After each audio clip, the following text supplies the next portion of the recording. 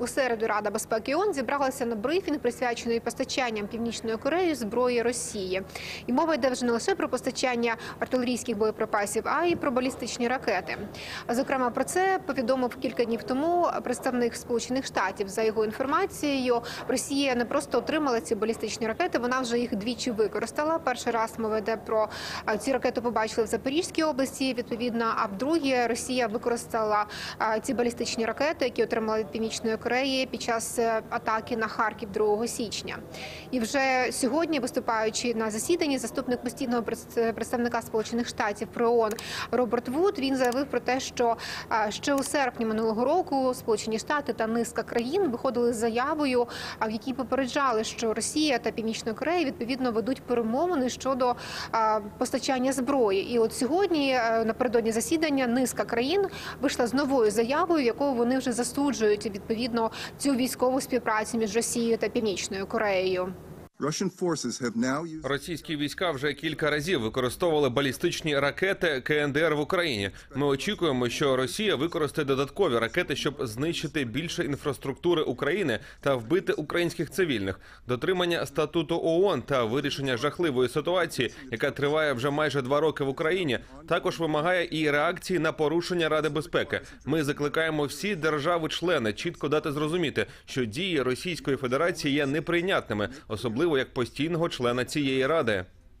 Тим часом постійний представник України при ООН Сергій Кислиця у коментарі Голосу Америки пояснив, що крім такого от політичного значення, яке має це засідання, в секретаріаті ООН вже почалися і конкретні кроки.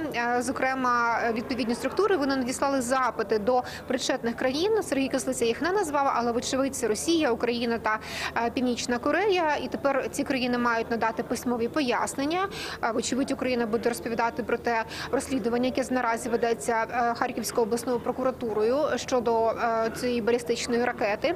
Після цього ці висновки будуть проаналізовані. Ці ці листи будуть проаналізовані відповідним комітетом Ради безпеки, який займається санкціями щодо північної Кореї. І після цього вже відповідно це питання е, потенційно може бути винесений в зал е, Ради безпеки для того, щоб вже члени члени Ради безпеки розглянули це питання, і можливо далі може бути прийнято рішення щодо санкцій, але в той же час Сергій Кислиця говорить, що поки Росія постійний член Ради безпеки, поки вона має право вето, вочевидь е, очікувати на е, резолюції щодо санкцій проти Росії не варто. Ми маємо справу з ситуацією, що це вже не вада конструкції, а це вже вада е, присутності е, однозначно Російської Федерації, тому що Російська Федерація не дозволить прийняти будь-яке рішення, і просто ми будемо дивитися, наскільки е, рішучими будуть е, дії